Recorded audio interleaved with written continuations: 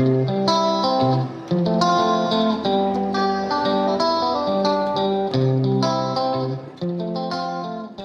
welcome to my channel. Today I want to show you how I made this cute tree stump fairy house.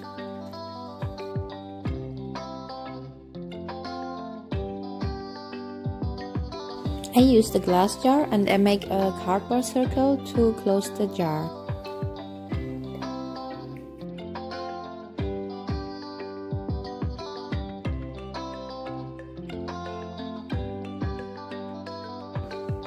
So I used some aluminium foil to make the bottom of the jar wider and kind of look like the root of the tree stump.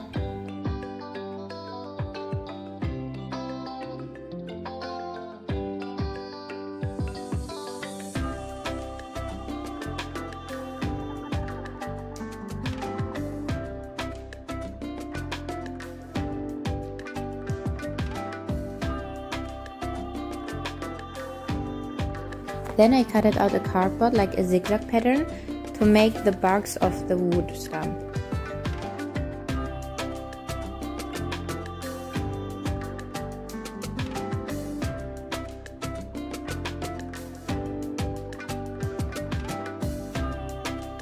Now I use some homemade air clay um, to cover up the whole tree stump. This clay I made by myself and if you want me to show you how I made this air dry clay or cold porcelain, you can comment below and I will make a tutorial video. I used some white glue to make the clay stick better to the glass jar and just continue the process to covering up the whole entire tree stump with some air dry clay and then later I will make some grooves so the clay looks more realistic and have some texture. So I thought in this, video I don't have to explain so much because it's basically me showing you how I did this um, fairy house. So I decided I want to tell you a story so the process won't be so boring. And I wanted to tell you the story of my first daughter. She's six years old right now and about to lose her tooth. She didn't lose any tooth, tooth right now. And I told her that there is a tooth fairy. And at the beginning, she didn't believe it and said that's impossible, fairies doesn't exist, and things like that. And I really wanted her to have the cute imagination about fairies. I don't, I know it's not good to lie as parent, but I think it's a lie that it's very enjoyable and it's just cute. And yeah, they might be disappointed if they some someday find out that fairies don't exist, but for now and as a child i think it's so cute and that's why i'm making these fairy houses and because i'm so excited i love fairies and fairy theme stuff and my daughter likes it too. So um, as i start to make this fairy house she was asking is it for the tooth fairy? And i said yeah if she come to visit us she can stay in that house for a while. And she said you have to make the door be able being able to open. And i said it's not important. And she said, so how can the fairy come inside the door?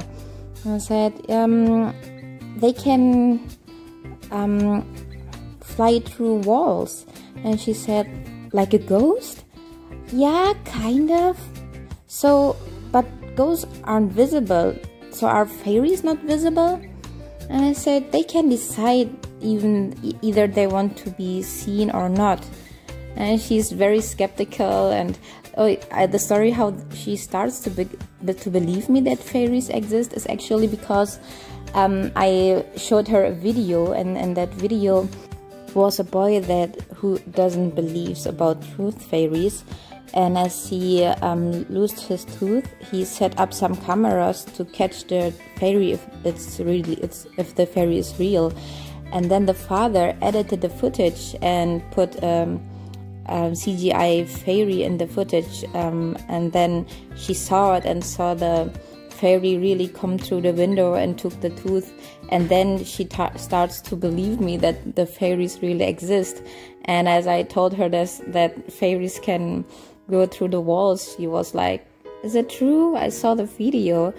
She was going through the window and she was visible, not invisible and i'm like yeah they, they can choose what they want to do uh, the, either they want to go through the windows or want to be seen or not. It's their choice. And then about the house she says after the house was finished you don't have anything in the house. And like it's not important.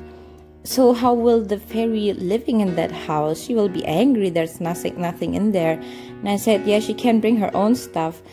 And it was just so cute about her like yeah it's just so cute how she likes the fairies and i will continue to make fairy stuff. Um, i plan to make a fairy garden out of this fairy house and maybe that will be a future video. Thanks for listening to my story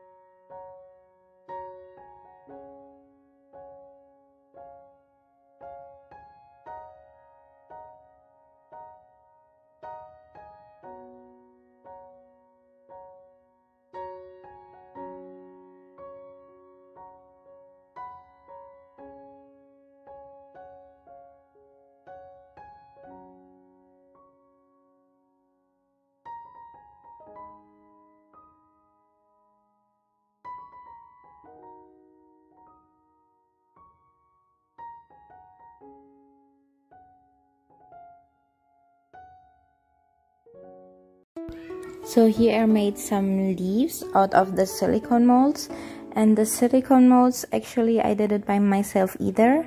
So if you want um, me to show you how I made the silicone molds you can just comment below. I made them actually for resin but I thought it's really nice for clay either so I don't have to make the leaves one by one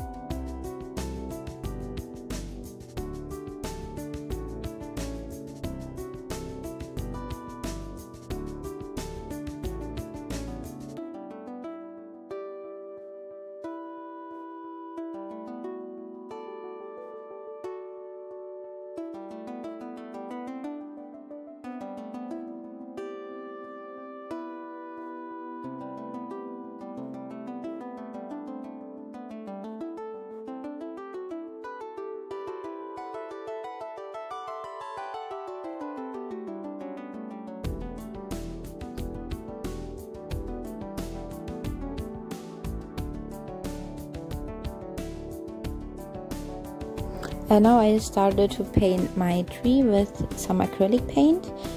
Um, I thought it works the best for this project. And it was a very long process. And I lost some footage of me painting the leaves and the rocks. I'm very sorry for that. But yeah enjoy the process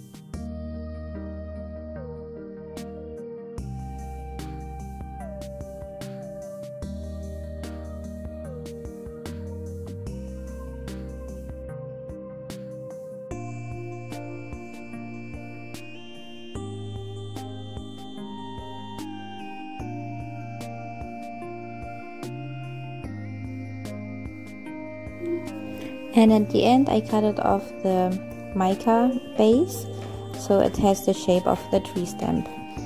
And that's the whole process. I hope you really enjoy it. And like comment and subscribe if you enjoy my video. And stay tuned for the next video. Thank you. Goodbye